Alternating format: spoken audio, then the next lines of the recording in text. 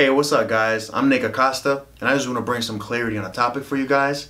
Uh, many times I've heard uh, conversations, teachings, and just plain simple uh, references to people or to events, right, that take place in the church or in ministries, um, in the body of Christ in general. So I just wanted to touch on this real quick. So, you ever heard somebody say that this person has um, they, they came with the spirit of division or they came with the spirit of anger and uh, they have the spirit of rebellion spirit of this spirit of that.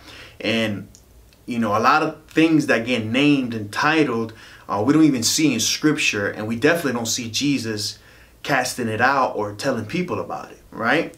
We see jesus casting things out but it's uh it's it's mute muteness it's deafness things like that. Uh it's never a characteristic or personality trait, a flaw or a work of the flesh, which is what that really is. A lot of these things really are. So I've seen, I, I want to talk about it because I've seen the confusion in the body of Christ. And, and that's what my job is, not only to, to grow um, and to not be confused myself, but to help others not be confused and get clarity. So the confusion comes like this. We hear somebody said that they have the spirit of rebellion or the spirit of anger or the spirit of this, spirit of that, even the spirit of excellence, right? And, and that's a term that even the world uses, but we use the spirit of this, spirit of that so much that it actually confuses people and hurts us because then we start thinking of the times when we acted like that or the times that we said this or oh oh man I, I said that the other day what if i have the spirit of confusion the spirit of uh, debate, the spirit of jealousy, the spirit of, spirit of bitterness, etc., etc., etc. What if I have that? So now we begin to have faith in being oppressed or being possessed worse yet so this is where the confusion begins and it actually ends in fear and it probably does attract that evil that we're thinking about so i want to let you know that anytime you say that somebody came in anger or somebody came in excellence or somebody came in laziness, whatever, it's better for you and for everybody that's listening to you for you to not call them spirits of this, but let's start calling them attitudes of this. Oh, his attitude was anger, or oh yeah, I went the other day and and um, to the store and I just had a, a, like a lazy attitude. Like I didn't really want to talk to people. I didn't really want to go walk around. I, I just I was just you know lazy. Like that's just normal stuff that the flesh can manifest.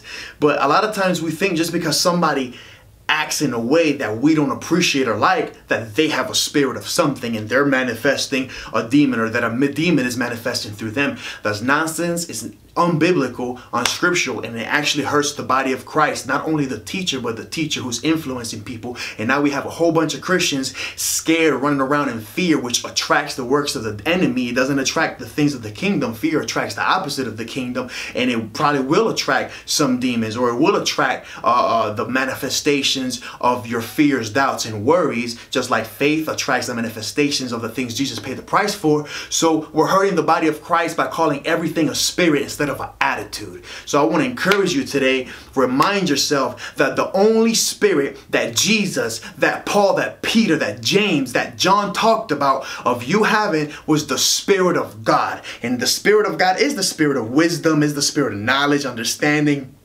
power, all that. There's no different spirits. Even the seven spirits of the Lord in the Bible, it is the spirit of the Lord. He is those things. So remember that you have the spirit of the Lord. And if you walk in a way that somebody recognizes as lazy or tired or angry or divisive or rebellious, whatever it may be. Maybe you walked in the flesh a little bit. Maybe in that situation, I walked in the flesh a little bit.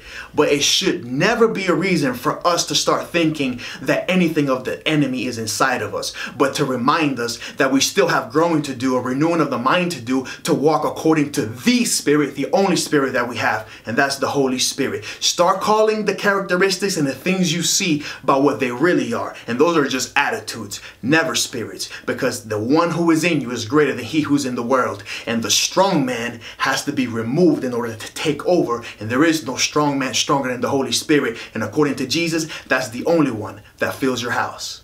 Amen.